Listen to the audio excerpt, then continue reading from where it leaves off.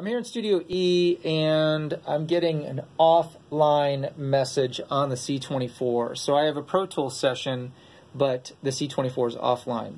First thing you want to do is go up to Setup, Peripherals, and go to the Ethernet tab. So up here, we're going to put a check mark next to Enable and choose USB and have it run through the cycle Seven times out of ten, this will fix it, so we'll see what happens. After it's done running, choose C24, and the C24 should come online after that. Then you can hit OK. We'll run through the firmware, and it should be okay after that. Come over here, you can see it's defaulted to the mute position, so if we unmute that, all you need to do is hit what I'm monitoring, in that case would be main, and hit play we now have audio through the speakers. It should say C24 and that is not working. So the next thing we need to do is reset the C24 and this is a little bit bigger step. So hit cancel out of this and close Pro Tools.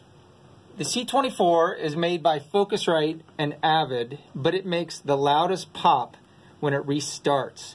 So you have to turn the speakers off or they will make a very, very loud pop. So while Pro Tools is shutting down, I'm gonna come here and in the back turn the speakers off of all the monitors.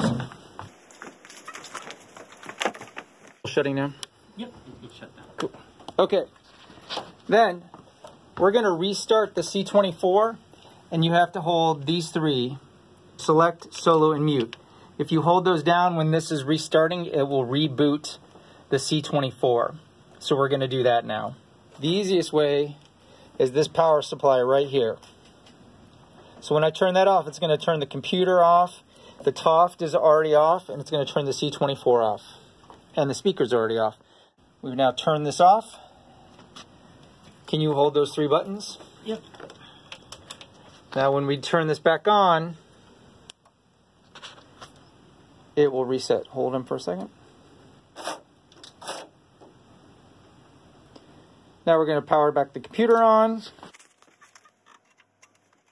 We'll take a second to power everything back on. You can see now the C24 is back online. It's responding to solo moves. And the only thing I need to do is turn the monitors back on.